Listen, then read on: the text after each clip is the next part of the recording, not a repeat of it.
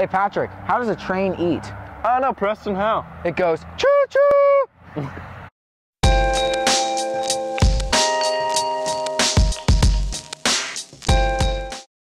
Good morning, Sandpoint High School.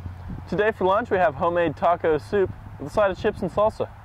Also today, volleyball team's playing Moscow. We're going bear hunting, that begins at 4 p.m.